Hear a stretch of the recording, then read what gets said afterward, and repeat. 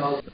Proje kapsamında Kaymakam Ali Akça ve UEDAŞ Genel Müdürü Mesut Efe ile Milli Eğitim Müdürü Fatih Bilican tarafından İnegöl'deki Tahtaköprü İlkokulu'nda öğrencilere kışlık giysiler dağıtıldı. Şimdi o zaman bu Okulda düzenlenen törende Milli Eğitim Müdürü Fatih Bilican bir konuşma yaptı. kurumumuzun, Riyadaş kurumumuzun başta genel müdürü olmak üzere diğer personeline bu güzel düşünce ve davranışlarından ötürü teşekkür ediyorum. Çünkü Sayın Kaymakamımızın ve Sayın Genel Müdürümüzün çok güzel ifade ettiği gibi e, Kardeşim Üşümesin e, ismiyle bir proje geliştirmişler ve öncelikle siz sevgili öğrencilerimizi seçmişler. Ee, biraz İnegöl'ümüzün merkezine diğer daha merkez ilçelerdeki köylere göre burası biraz daha e, rakımı yüksek olduğundan e, kar biraz daha burada fazla oluyor, soğuk oluyor. O nedenle büyüklerimiz sizleri düşünerek bu öğrencilerimiz geleceğe hazırlanıyorlar. Bunlar bizim geleceğimizin teminatı. Siz bizim her şeyimizsiniz diye ki hepimiz aynı düşüncedeyiz. Sizlere bu güzel hediyeleri getirmişler. Daha sonra UEDAŞ Genel Müdürü Mesut Efe de bir konuşma yaptı. Gerçekten bizim için güzel bir gün.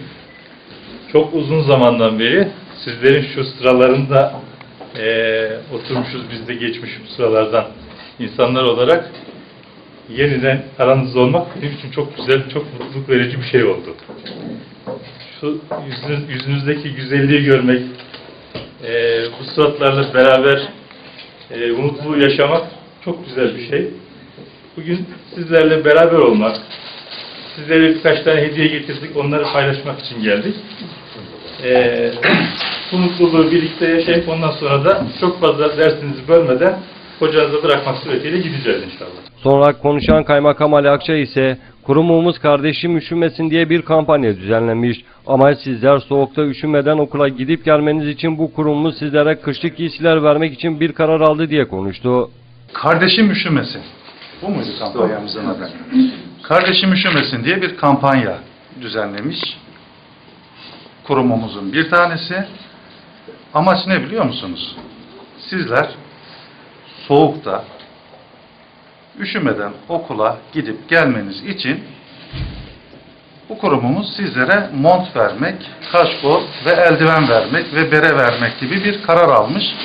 Bu kararı da Kaymakam Bey beraber verebilir miyiz? Öğrencilerimize beraber dağıtabilir miyiz? Dediler. Ben de seve seve olur dedim. Ve sizleri o yüzden ziyaret etmek gibi bir kararımız oldu.